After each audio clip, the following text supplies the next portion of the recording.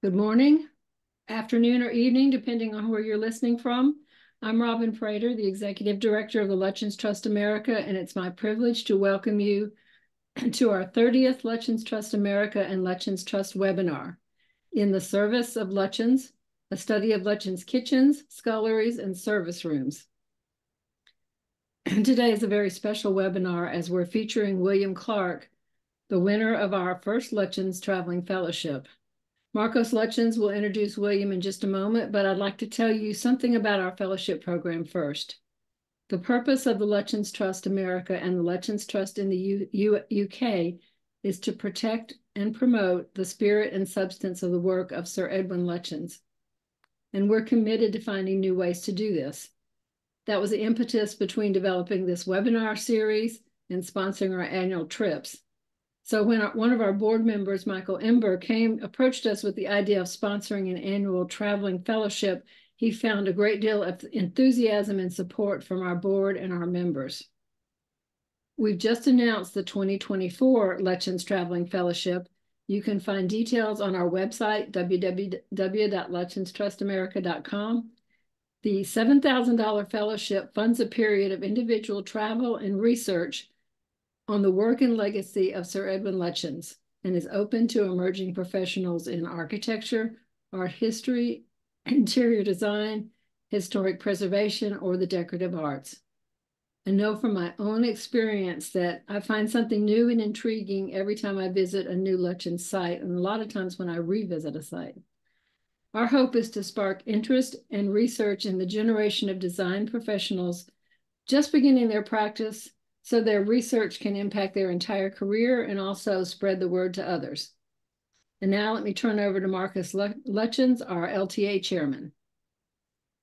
Hello, everyone. Um, so I just wanted to introduce William. William Clarke is an architect in Chicago, Illinois, uh, born in Memphis, Tennessee.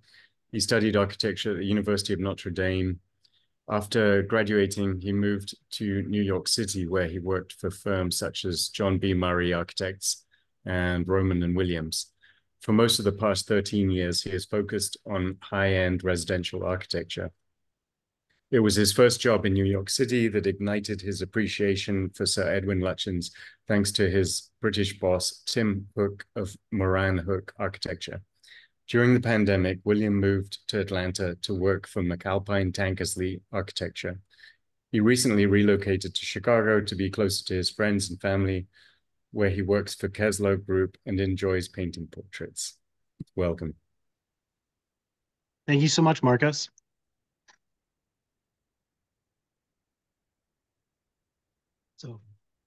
My proposal was called In Service of Lutyens, a study of Lutyens' kitchens, sculleries, and service rooms.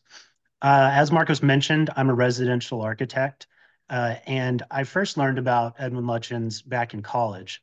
At Notre Dame, they have a strong focus on the Western traditional uh, architecture and very classical architecture. Uh, but it was, as he mentioned, in New York where I really fell in love with his work. Um, as a residential architect, I am always looking for inspiration. In general, much has been made of Lutyens' grander rooms, such as his dining rooms and his living rooms. For instance, the ASG Butler retrospective uh, uh, compendiums uh, released shortly after his death have numerous interior elevations, but none of the service spaces. I regularly come up short while looking for inspiration and historical references in kitchens and sculleries and pantries when I saw that the Lutyens Trust of America was starting a traveling fellowship, I jumped at the opportunity. I'm an American and I have limited vacation time and opportunity to visit Europe, especially for an extended period of time. This was really once in a lifetime experience, and I want to start off by thanking the Lutyens Trust of America uh, for awarding me the fellowship and for the opportunity that this provided. Um, So as part of my proposal, I visited five different homes by Edwin Lutyens. Um, I started up north in Scotland and I went to Lindisfarne Castle and Greywalls. And then I flew down to Exeter so that I could visit Castle Drogo, one of his largest homes that he built. Um, and then I capped it off by going to London, where I was able to take commuter trains to both Goddard's and Munstead Wood. While in London, I was also able to visit the Victoria and Albert Museum, which houses the archives for the Royal Institute of British Architects. And they allow people to see and handle uh, Lutyens' original presentation drawings that they have there. You just have to give them a week uh, warning in advance. Um, that's not going to be a part of this, but they also have digitized a huge amount of their archives. And Castle Drogo has also digitized many drawings that they have. So if you're interested, feel free to look online. Um, one thing I want to say about visiting these homes is that they have provided me an experience that photographs and even videos can't replicate. Um, and being able to experience the space in three dimensions, both the way it looks, the way the sunlight comes in, and the way that the the physical flow through the space, it's just not something that can be replicated purely through photographs. But I hope that I can give you a sense of these spaces in this presentation. Uh, for my friends and family and any random YouTubers that find this later, I just wanted to set the scene. Edwin Lutyens is considered by many uh, the greatest British architect. It depends who you ask, but I would agree with them. He lived from 1869 to 1944. So basically born during the Victorian era and then passed during World War II. Uh, and he's considered by many somewhat of a child prodigy. Technically, he started his firm at uh, 19, although his big commissions came in his later 20s.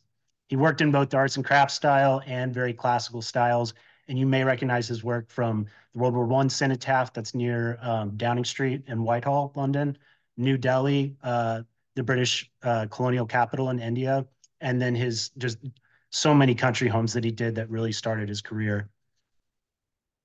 There should be a place for everything and everything in its place. This is a quote uh, from Isabel Beeton, or possibly Benjamin Franklin. I included it uh, because Isabella Beeton wrote the book, Mrs. Beeton's Book of Household Management, which was basically the Martha Stewart of the Victorian era. This was a guide that lots of people read, uh, referenced, and is still actually in print. But the reason I include it is because more traditional homes tended to have more compartmentalized and separated spaces.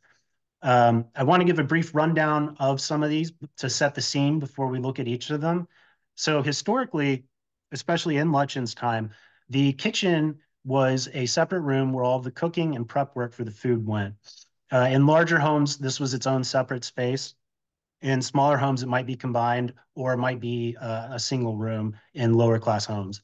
Um, the scullery is the term for the wet room. This was usually a smaller room immediately adjacent to the kitchen where they washed dishes, uh, left dishes to dry, and sometimes stored them. And they could do other wet prep work. The butler's pantry was a more formal storage room. It's usually more beautiful, and it was the transitional space between the served area, which was the family of the home, and the service, which was the cooks, uh, etc. So a lot of food plating, dishwashing happened here, as well as some of the uh, china and silver storage. Um, often, if there was a lot of silver, they would have a safe attached to the butler's pantry. And then as far as storage, there were a few different types of rooms. There are larders, which was mainly for storing and preparing meat, as well as some cold prep, such as uh, various pastries, things that needed cold service to work on. And then there were pantries, which are very similar to the way we understand them now. It's just dry food storage. Um, and then there are fuel rooms. These stoves at the time were heavily, uh, they all used either wood or coal. And so they had to have rooms where they could store massive amounts of the wood and coal in order to use it. And often, including in many of the homes that we'll be looking at, these fuel rooms were right on the outside of the building so that the people delivering the coal or the wood wouldn't have to track through the house. And they'd either have a door or possibly just a chute that opened into that room. If you compare that to kind of the popular modern kitchens that we see, there's been a lot in the past, I don't know, 50 years uh, pushing towards open concepts. These open concepts make sense uh, in terms of entertaining and some modern family uh, organizations, especially uh, when working mothers, for instance, want to be able to prepare food while still enjoying their time with their family. Or I include Ina Garten here because some people enjoy uh, performative entertaining uh, to their friends and family. But other than that, I kind of feel as an architect that it's it's worse in almost every other way. Uh, the lack of the compartmentalization means that all of your functions bleed into each other. In addition, uh, kitchens in Lutyens' time were very carefully thought of locationally so that they wouldn't share uh, walls with larders, mainly the stove and any chimney flues, because they didn't want to bring any additional heat into those storage spaces. Uh, in addition, as we know now, there's a lot of smoke and grease and uh, flammables that come off while we're cooking. And not having the kitchen in a separate space means that that's landing all over you, all of your furniture, everything. Um, so I, I am a fan of kind of separating these spaces, and I'll show you, I believe Lutyens clearly was as well. And then finally, I like rooms, and I think they're more fun when we have more of them and can try even more interior uh, finishes. As you can see, they're hugely popular. I want to give a brief rundown of the sort of domestic staff that Lutyens would have designed his spaces around. Um, back in 1900, there were over a million domestic laborers in the UK. I've seen figures of 1.2, and I also saw maybe 1.5 million. But regardless, it was over 4% of uh, the population. So it was a massive of the working population. It was a massive amount of people. And then you compare that to now, for instance, in 2012, they did a study and only found 65,000 domestic laborers.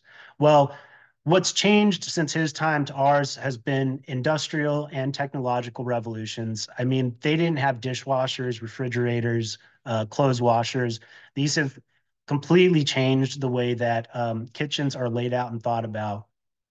Um, and more importantly, have reduced the amount of staff that anyone needs. In my own experience, I've worked in high-end residential uh, on some very expensive projects. The most None of the staff is live in. All of the staff back in Lutyens' time was live in. Now they tend to be hired and at most full time. They come in and then they leave at the end of the day. Um, so the sleeping rooms and arrangements that Lutyens designed are no longer necessary even for the wealthiest clients. Um, so this the staff would have been um, considered above stairs versus below stairs. This is a concept that uh, has been explored in a lot of pop culture, like Downton Abbey, Remains of the Day, Gosford Park. But basically, above stairs is the served area, and that's the owner of the home and his family. And then in a larger staffed house, they would have various uh, managers of the entire staff who are considered either like the butler or the head housekeeper, and they would interact with the family and with the staff. But then everyone below stairs is basically everybody else, the maids, the cleaners, the cooks, and the valets.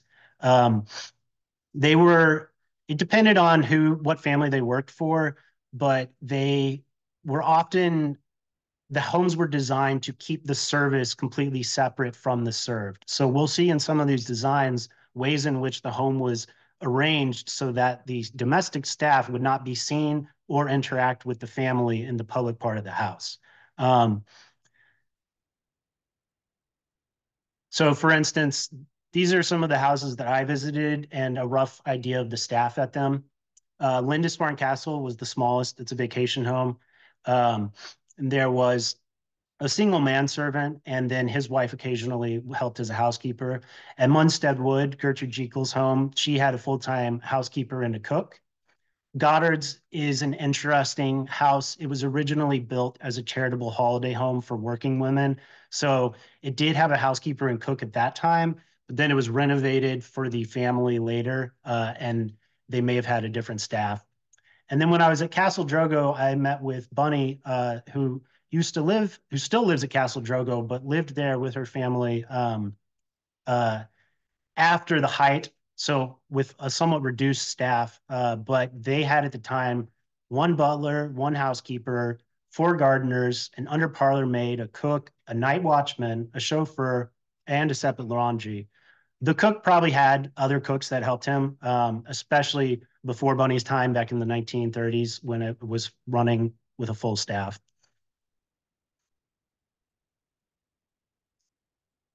Okay, so the first home that I visited is also the first home in this presentation. It's Lindisfarne Castle. Uh, this is located on Holy Island in off the coast of Scotland.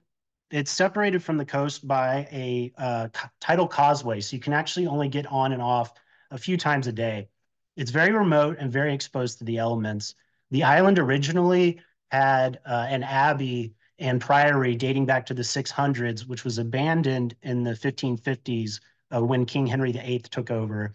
Uh, he kind of shut down all the monasteries.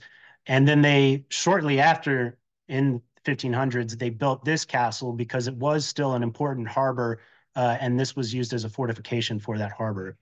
There's a wonderful Lutyens Trust of America webinar by Nick Lewis about the castle and the renovation that goes much more in depth.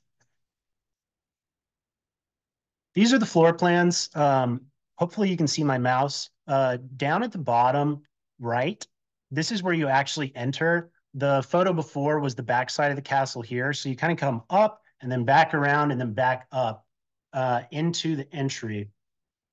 The entry takes you into a beautiful entry hall. And then immediately to your left is the kitchen, the pantry, uh, storage, and butler's pantry. The Castle was purchased by um, Edward Hudson, who was the founder and editor of Country Life magazine. He first saw it in about 1901 and thought it would make an amazing holiday home. Uh, he was introduced to Edwin Lutyens through Gertrude Jekyll, the landscape architect, um, and basically hired him to renovate the castle. You can tell from this plan there were uh, it's a somewhat surgical renovation. Uh, the on the right, the gray poche is the existing, and the darker, blacker poche is the new. So Lutyens reworked the fenestration and windows, and then reworked a couple bays.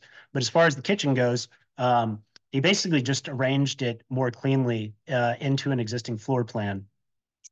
And in 1912, they actually re-renovated and added these bedrooms, the three bedrooms you can see at the top. Um, and at the same time, they moved the kitchen wall further down into the kitchen in order to make the entry hall grander. So they cut some of the space and they increased the distance from the kitchen to the dining room.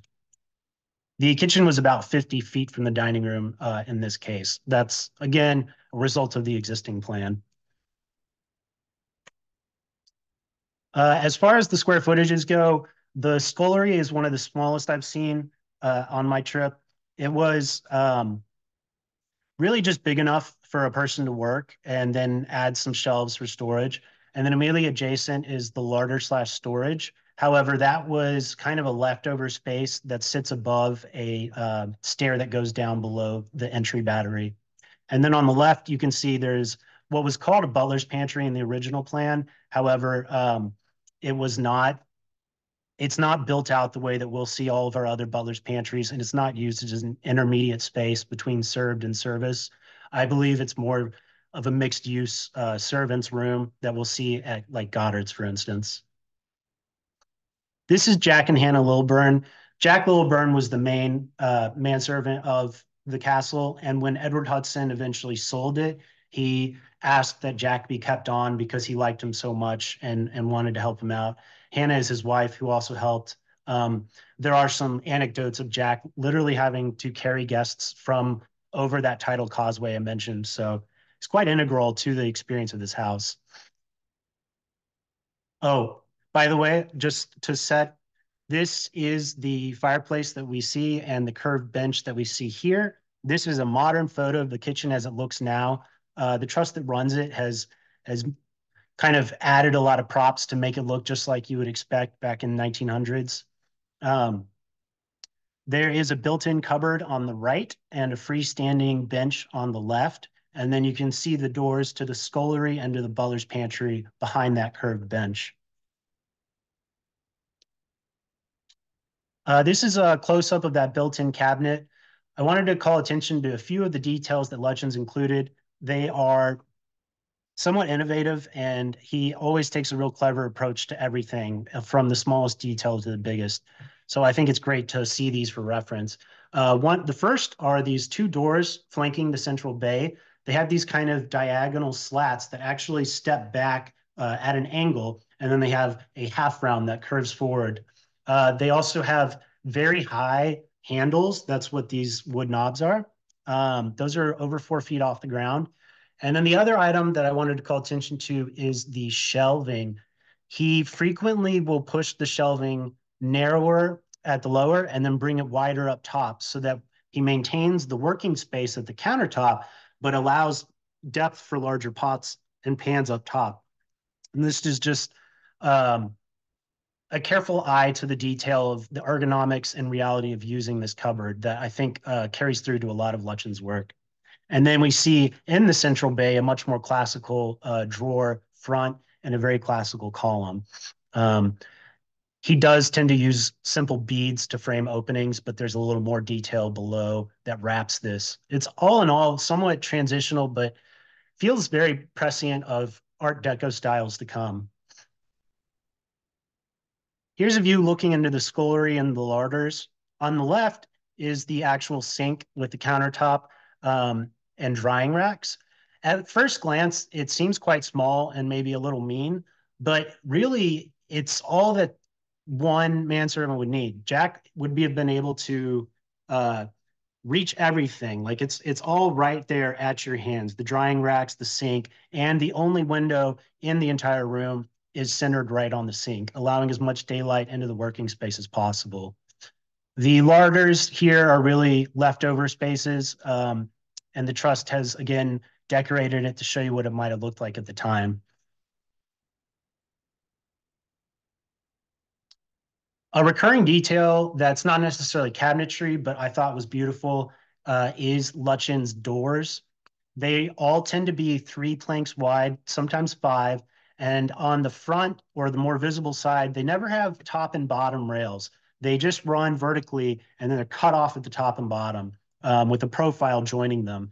And then on the back side, he has horizontal and diagonal rails, which actually connect them all together. Uh, the wood is thin, it's about one inch thick. So opening the door feels quite different from modern doors. Um, and then he also tends to put the handles very high. This does come from a Victorian tradition where they would put elaborate ironwork up higher so that your eye was able to see it. This is in a lot of not here. This is this is a very uh, simple but beautiful shape, but the tradition comes from people spending their money on those expensive iron workings and wanting to be able to show them off. So we see it in both the kitchen door and the more elaborate door towards the dining room.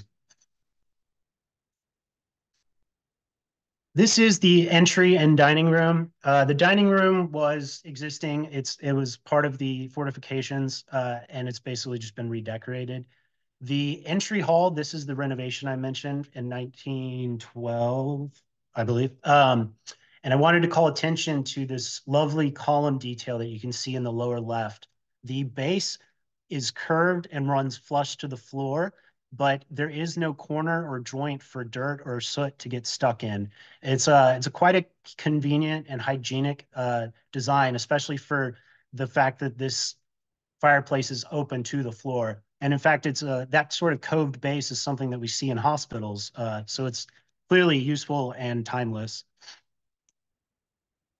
Uh, I included this just to show you that um, Lutyens may have been referencing the island itself when he was uh, designing some of those columns. This is the abandoned abbey. Uh, and then another fun thing I saw was they, it's a very important harbor and they actually use overturned old boats as storage sheds, uh, very similar to kind of how we use shipping containers these days. It's just a fun repurposing that I think uh, speaks to like this presentation and what we can do with old buildings. During my time on this trip, I spent a lot of time measuring and drawing whenever I could. So I've included some drawings showing the type of work I was doing. Um, the I did both measured drawings and freehand sketches, and then I threw some of them into CAD just to get a better grasp of it. If anyone's interested, I'll, I'm happy to share these with you. Um, and then this was a watercolor I was able to do from my hotel room with a beautiful view towards the island, um, as well as another door detail. So by coincidence, but also uh, for this presentation, Greywalls was the second place I visited it in the second house on this presentation. Um, it was built in, oh, whoops. Apologies. Uh, the problem with Greywalls, it was built in 1901 for Alfred Lyttelton, But in 1948, it was completely renovated to be a hotel, and eventually a full service wing was added. So very little of the original service space exists. Um, to be honest, the one of the main reasons I wanted to go to Greywalls uh, is because it's a beautiful home and hotel, but also uh, I had plans to meet uh, a fellow there, but unfortunately could not. This is the beautiful entry wall. It's a it's a big curved wall for the that the motor court enters into, um, which is located right here in this plan. Uh, I do want to describe the plan of Greywalls because I think that it's it's relevant to the rest of the plans that we see. Um, over on the far left, you can see these two fuel rooms and this boots slash mud room. This is actually the service entry, and it still is the service entry for the hotel. Um, you can see that they have two fuel rooms with exterior doors, like I mentioned earlier, for hygiene. Um, they also have this open yard here, which allows Lutyens to bring daylight into the kitchen without penetrating the courtyard wall. So this kitchen is kept kind of visibly separate from this popular main entry, but um, it still he still needs to bring daylight in, so he creates this element in order to do that. Then we have a scullery as well as some servants' rooms and the butler's pantry, and then the dining room at the end of that hallway. Um, oh, sorry. The uh, you can see here this separation of spaces. Um, the kitchen is separated by both a corridor and a covered walkway from the larders. Uh, the larders organization uh, is very similar to what we'll see in the rest of the presentation. They're usually big enough for about one person to walk in, and then he wraps the walls with shelving, and he separates the larders into smaller uh, smaller divisions at every opportunity. So there's three separate ones here with a ton of shelving. Um, the scullery is about one third the size of the kitchen, uh, which is a recurring theme, and the pantry is roughly the same size. This is the interior of Greywalls uh, as it looks now, just to give you an idea of, of the space. Um, and then these are some drawings I did since there wasn't much time to measure or uh, anything really to examine as far as service. I spent a lot of time um, just examining the exteriors.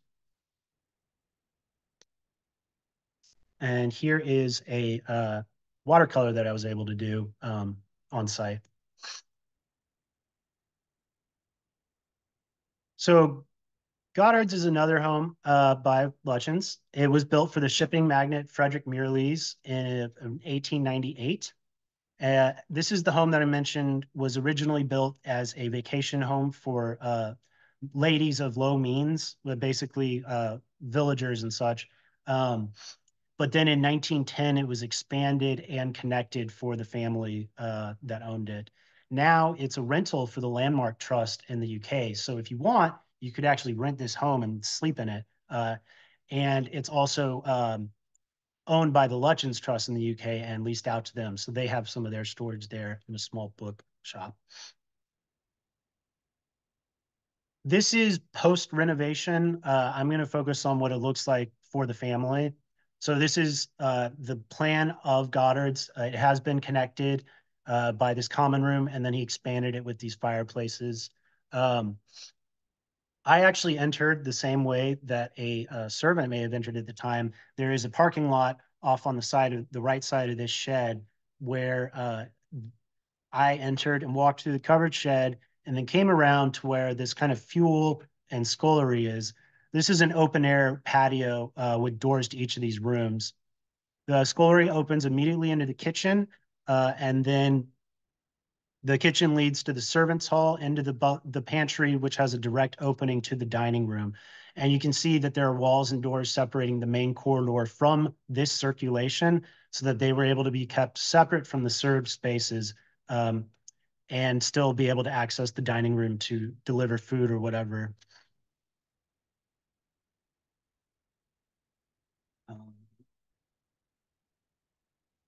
So here's a more blown up version of the plan.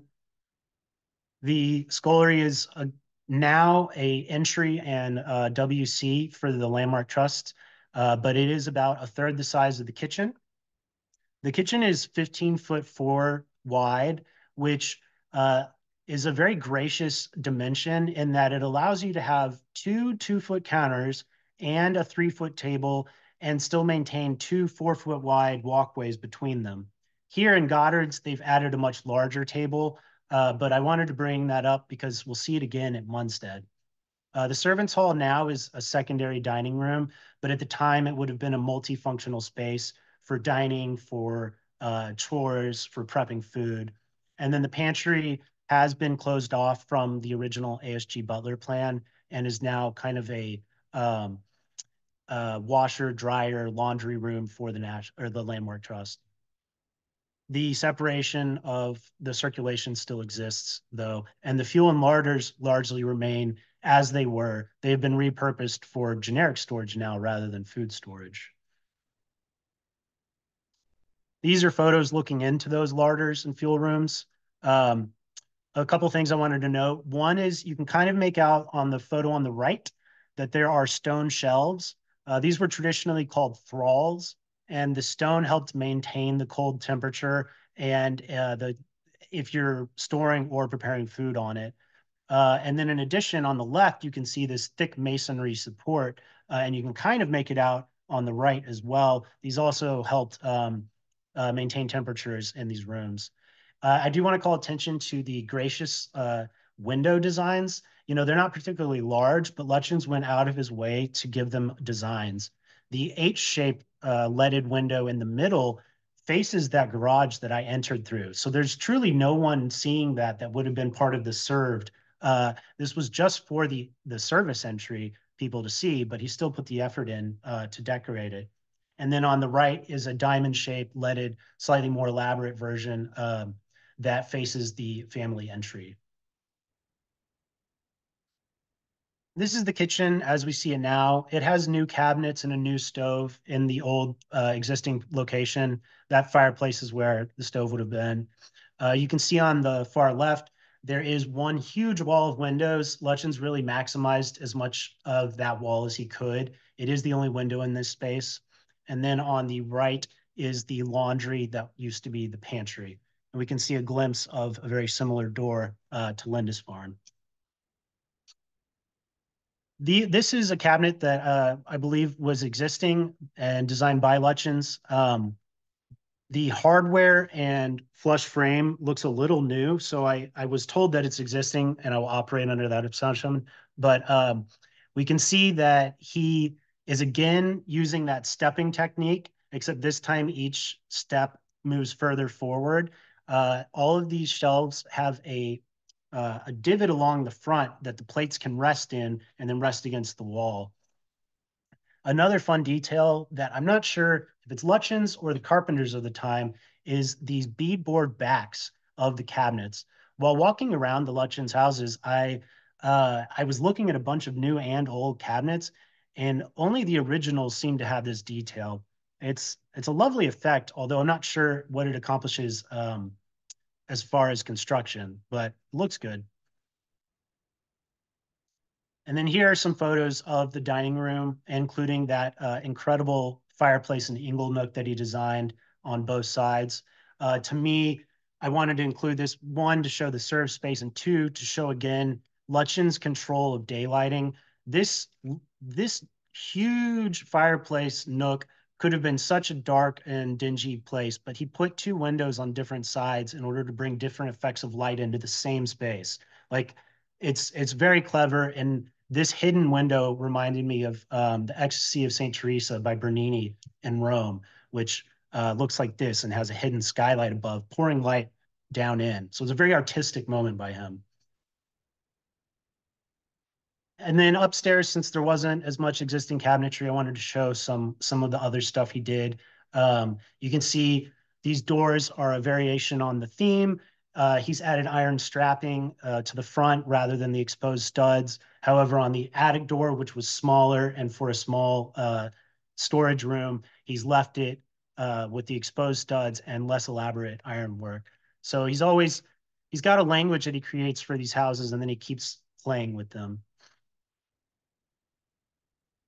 In addition, Lutyens did design the ironwork uh, and strapping that were on the doors. He often worked with local metal workers to the project, but when you see these things, these are these are all items that Lutyens made deliberate decisions with. And then there's also some fun little colonnettes that I wanted to include that uh, were a little more unique. In here, uh, this is that separate um, staff area. Uh, a couple things I wanted to show was, again, the layer of the lighting um, and also this detail showing um, the mid rail is actually the same as the backside of the doors, the this mid rail on the right here. Uh, so he's again reusing and reinterpreting different things. Um, so at my my time at Goddard's, I was able to do some more drawings and some watercolors. So I wanted to include those uh, and show you some of the work that I was able to do thanks to the trust. Okay, the fourth home, uh, this is actually the last house I visited. It's another one of these uh, country homes like Goddard's and like Greywalls that were built. They're all kind of the same scope, so I that's why I included them together. Um, this was built for Gertrude Jekyll, uh, and it was finished in 1897. Gertrude Jekyll has uh, immeasurable impact on Lutyens' career. She was older than him and kind of discovered him and gave him both his first major commissions and introductions uh, to other people that gave him further commissions. There are a few Lutyens Trust webinars all about both the relationship and Munstead Wood, and they're all fascinating. Uh, their relationship is really unique. And this building especially is a love letter to the vernacular architecture in Surrey, which is the region that this was built. Uh, there are several anecdotes of both Gertrude and Lutyens traveling around by cart um, in Surrey, just kind of like picking out details that they liked, which I happened to notice when I was walking to Munstead Wood from the train station. So I think it'd be great if someone, maybe another fellowship or another webinar, could go more in depth uh, comparing how Lutyens kind of like pulled references and moved away from them. It'd be it'd be really great because seeing it in person was was eye opening the plan itself um, is this U shape, but it's actually kind of a W. Uh, there is the grander shape of it around this giant garden court, but then there's a smaller U-shaped uh, wing that is entirely the service wing built around this open air yard. This is a covered entry to that yard. Um, this both allows light into the kitchen and pantry and creates a local organizing center. The uh, kitchen was quite gracious. We have another 15 foot ish kitchen, um, as well as a scullery that's about a third the size of the kitchen again, and the same sort of breakups of uh, larders that we would see everywhere else. The pantry was on the other side, uh, as well as a safe attached to it. And then the dining was immediately adjacent, uh, or not immediately, sorry, it was on the other side of two different corridors. Um, the kitchen does have lighting from both sides, although the pantry does not. This was also used as her main entry for uh, gardening. The, the, a lot of these rooms, like opposite the WC, was actually a shed for garden equipment. This is that staff yard that I mentioned. Um, this is the kitchen on the left and the pantry on the right. But in addition, Lutyens has added these wonderful windows down into the stair leading to the cellar. There is no decoration in the cellar. These windows are just adding natural daylight to a storage space. Um, and then also there is a coal chute for the fuel rooms, which in this house were in the cellar. Those are hidden by this uh, access ramp though. Uh, and then I wanted to include some of the like exterior doors that Lutyens did. He's he's again just kind of playing with themes, um, adding windows, making them smaller, changing like all in one elevation. There's so much movement, but it's all very cohesive.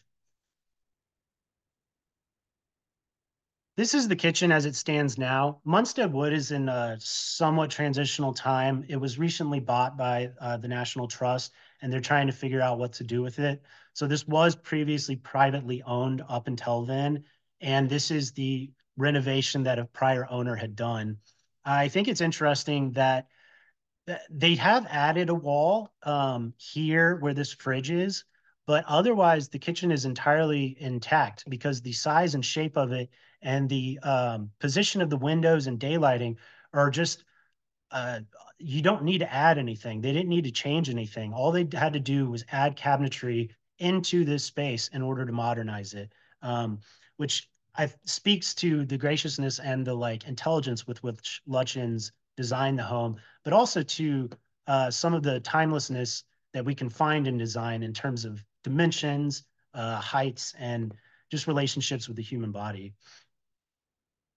Um, these are some other shots, uh, a couple from the larders. Uh, the larders had a fun detail where the flooring um, followed the function of the room.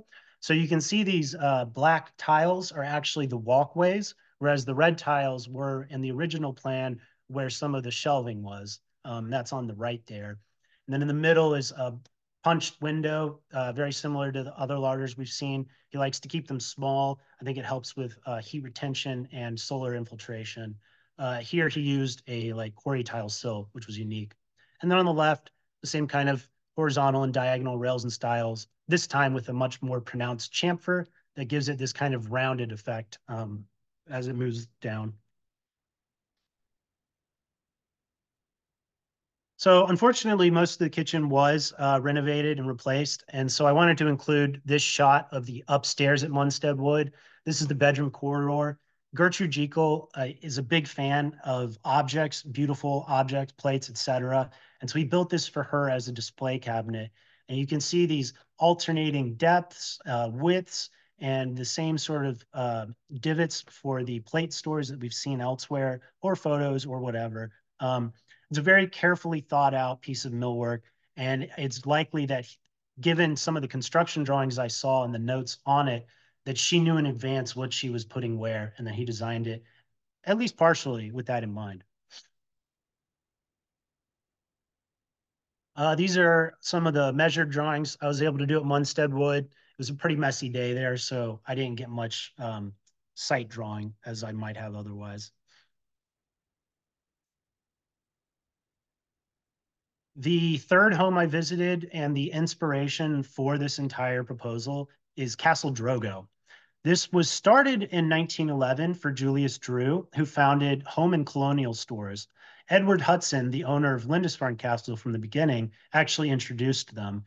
Uh, Julius Drewe wanted a true British castle, and there is an incredible webinar about this by Tom Kligerman and Enki Barnes. Um, they compare it to the American Biltmore. It was also a war orphanage during World War II, um, and it set out. Uh, uh, it's it's set out in the wilds, and it's just an incredible place to visit if you get the chance. This is an early iteration of the design. This is not what was built. Uh, Lutyens originally presented this kind of two-wing idea. Uh, up top, we see uh, the chapel and some other rooms. Uh, and then down below is a service wing that was set under uh, underground into a terrace. The plan changed in that they got rid of this upper wing, but this plan that you see as drawn, uh, kind of pixelated here, actually did not change hardly at all to what is now existing. The butler's pantry, the kitchen, the scullery, and the larders, they're all in the same place. Even their niches are roughly in the same place.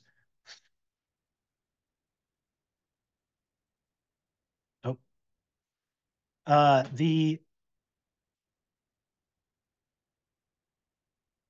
the service entry is up towards the top of this uh, plan.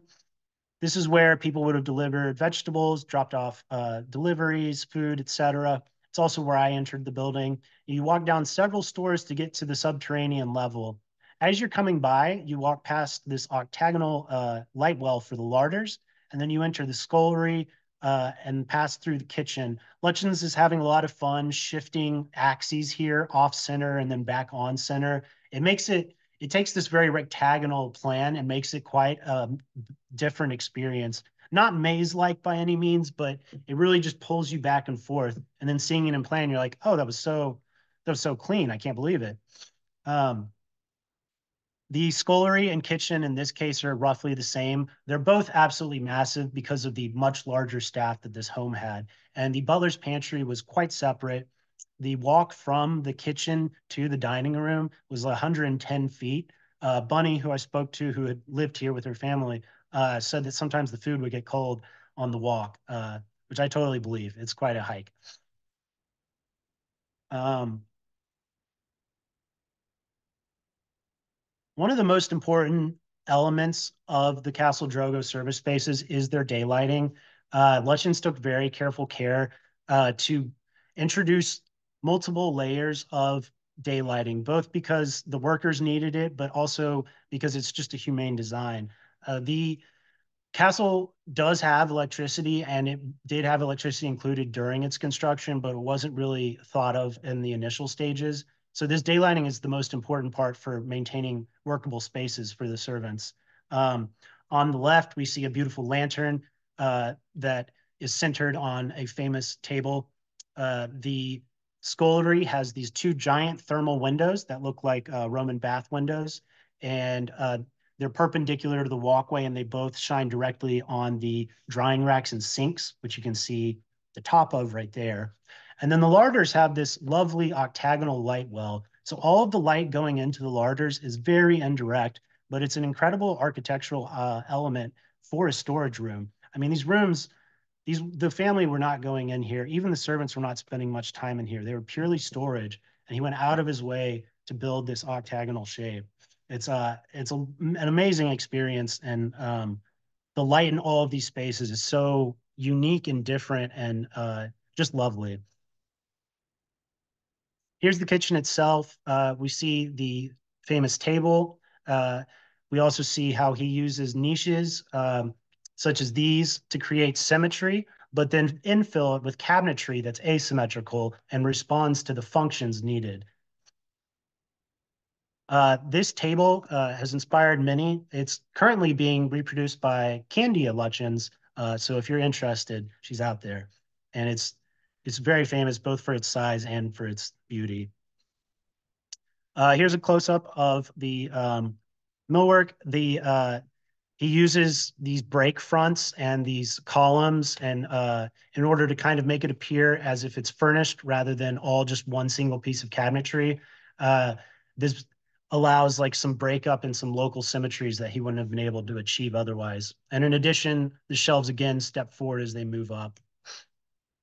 This is the scullery. The uh, sculleries at the time often had one wood sink and one porcelain sink. The wood sink was for uh, precious china. The wood was much softer and you could wash in there without as much fear of breaking, whereas the pots and pans could have been washed in the porcelain harder sink. You can also see some uh, slats that have been carved into the countertop in a, in a way that allows the uh, water to drain back into the sink. And this also is one of the largest uh, drying racks I've ever seen with some incredibly beautiful detailing. They have these weird little bat wing things that hold the canted uh, supports for the plates. And then also a beautiful scroll with uh, some crazy detailing on the underside here, uh, all for a kitchen drying rack. Here we see another one of these uh, niches with a completely different function. He has kept this coved detail that gets cut at the top at all of the niches. Uh, it's got this crazy little pyramidal shape as well.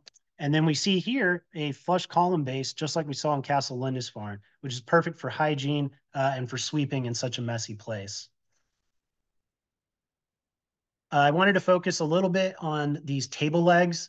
He has a few variations of them, but they're all very similar and based off of a dining table that he built for himself. Unfortunately, these bottom rails were on that dining table and made it difficult to sit at, but they're wonderful for a working kitchen table. They're rounded at the top so that they don't collect dust, flour, or sugar, and they have uh, a beautiful heft to them that I think really contributes to the quality of the space. In addition, Lutyens, while looking at his construction drawings, I was able to see that he very specifically dimensions, both the projection and size of these exposed tenons. This is a very like typical arts and crafts detail, and it was nice to see how much thought that he put into like the location and the size. Uh, and these are some nursery bars. This is another item that he um, uh, basically was just reinterpreting and reusing, not in the kitchen, but just contributing to some of the way that um, he designs. Here we see some photos of the larders. Uh, they all have uh, the stone thralls, the shelves that I mentioned, as well as open air lattices. Uh, and all of the doors that I've shown you, most of them are built on four by four wood uh, posts and beams that are set within a masonry opening, uh, not an not a like hidden drywall jam like we might see today. Uh, so it's an additional layer of articulation and design that we can use to contribute to the space. This is the butler's pantry. You can see it's uh, quite ornate and beautiful. It's very symmetrical, but within the symmetries, he's got lots of materials playing different games, functions at different millwork, uh, calling for different designs. Um, in addition, this is on the right. This is where the butler would have actually stayed. Uh, and then on the left is a door to the safe. Uh, these colonnettes that are supporting the upper cabinets are all kind of interfering with this function of the counter space. But I think that the counters would have just been used to store plates momentarily as you were taking them out of the upper cabinets and then plating food to take them out. Uh, it's an interesting dynamic. I'm not sure. I haven't I haven't seen other places where he's brought the upper cabinets forward flush with the bottom like that. And then here's the final parting shot of that butler's pantry, including the call button system that he installed um, so that the butler who was immediately next door would be able to answer to it. That's my presentation. In conclusion, I had a few thoughts, things I kind of learned. Uh, one thing that I wanted to talk about specifically, and I touched on at the beginning, is the separation of functions. You know, why are we fighting nature on this? uh, different functions call for different requirements and trying to force them all into one open plan or loft inevitably leads to issues of hygiene, both mentally, like auditorily, and just literal hygiene, dust and dirt. In addition, uh, some people may be afraid of, of the renovation requirements down the road once a function is no longer relevant, such as the servants' rooms um, of Lutyens times.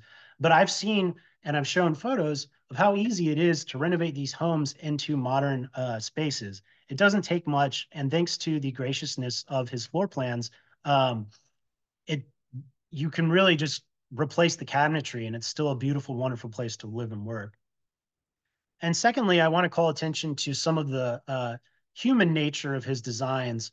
So many of the dimensions that I saw in his millwork uh, are dimensions that we still use today. And it makes sense because the human body has not changed at all, despite you know three or four different technological, digital, industrial revolutions since this time. Um, as such, for instance, the Lindisfarne uh, cupboard was two foot nine. ADA requirements ask for two foot 10 high countertops, and your average architect will build one non-ADA at three foot tall. So if anything, Lutyens was a little prescient in lowering it for more accessible uh, usage to older people and more handicapped. Um, the other thing is to consider uh, more gracious spaces in terms of widths. Seeing Lutyens work in person, I realize that he's given much more uh, walk space to his both the servants and the owners of the family than we do in current architecture. And I also have reacquainted myself with the importance of multiple sources of indirect daylight.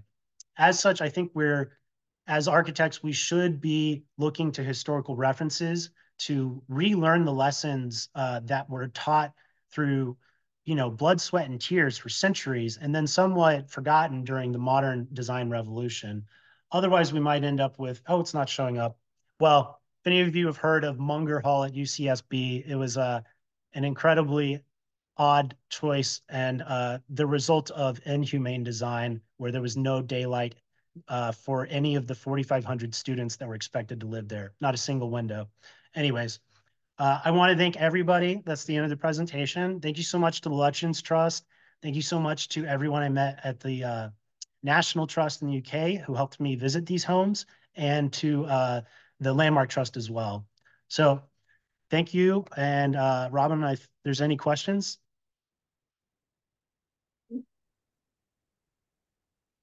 Thank, thank you, William. Um, we, we do actually have a couple of questions and I'll uh, voice them here. Uh, there's Lisa Shire um, asks, do you know the purpose of the angled boards? Um, Um, Yeah. no, not specifically. I felt that it was a decorative choice because it's definitely not hygienic. Um, and Lutyens does have a habit of of of doing very clever but uh whimsical uh choices. So it may have just been a fun idea he wanted to pursue. And then uh, Clive Aslet, the chairman of the Lutyens Trust in the UK, um, says, um, actually uh, passes on a message from Rebecca Lilly, who works for the Lutyens Trust. Thank you, William. A really well presented talk and interesting to see these familiar buildings from a new perspective.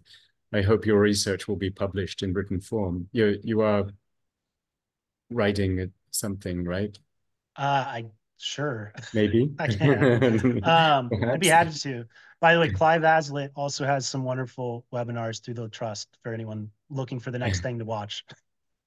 Um, then uh, Richard Breeze, not a not a question, but uh, the servants' quarters at Gladstone Hall were in the roof space, but have a double roof, so they were able to have daylight from interior windows. Google Map shows the roof well. Lutyens showed a lot of thought for domestic staff. Well, that's reassuring. Mhm. I He does I that in may- in several of his houses. Yeah, I may not have touched on it enough, but I expected actually to see these like small, mean little rooms for them to live in. And that was not the case. All of the servants' rooms, like the, the sleeping quarters that I visited, were better than the East Village tenements that I lived in in New York, like, and the dorms that I lived in at Notre Dame.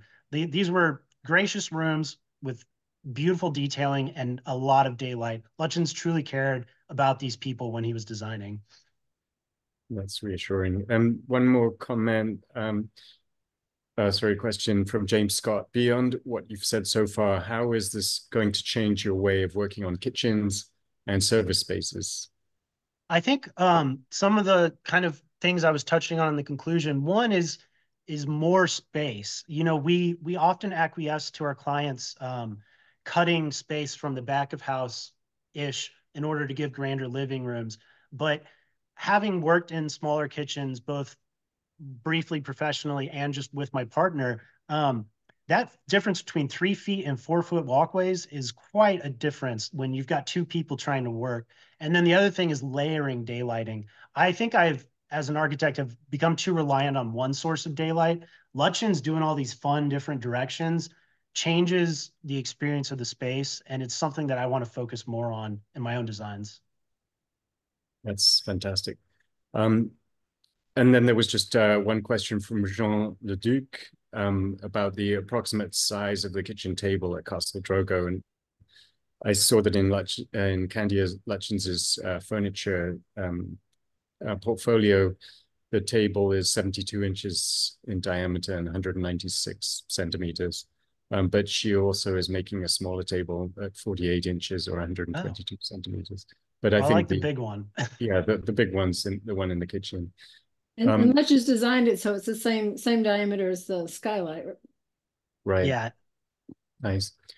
Um, I think we're running out of time, so um, maybe Robin, you can say uh, wrap things up for us. First of all, I just want to thank William for a great presentation, and you've been a wonderful inaugural fellowship member for us, and, and we look to have many years to have you at our events and, and part of Lutyens Trust America. Thank you all for watching. Um, please, if you know people that might be interested in applying for the 2024 Lutyens Traveling Fellowship, the details are on our website, and you may have already gotten an email about it as well. Uh, and all, and as always, we encourage you to join the Lutyens Trust America or the Lutyens Trust, depending on where you live. But uh, thank you all for watching, and we hope to see you at our next webinar. Have a good day. Thank you. Thank you so much. Goodbye.